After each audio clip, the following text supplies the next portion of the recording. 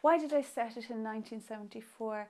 Um, I actually specifically chose 1974 because of the the bombings that happened that year. Because there's there is a very strong thread in the book about the duality of you know freedom fighting and you know the division between the guys who fought the war, war of independence and those who fought for the British Army, and I don't think you can explore that without also exploring the echoes of what hap- what became of the IRA later. 1974 was a year of massive upheaval, horrible violence, and at the same time, it was a year where there was a magnificent summer.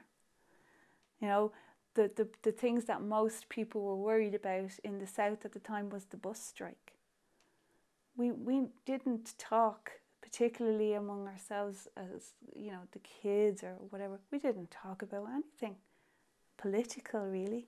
Life was just going on as normal. And i i never mention the bombings in the book. At the end there's a brief mention of the uh, the IRA it, this is pre it's it's literally in the couple of weeks before the bombing happens.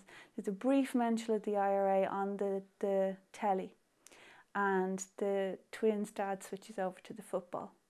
And that's my memory as a kid of all of it was in the background. You know, the 70s was one long summer holiday. And I just kind of wanted to that you know subtly that that that's in the book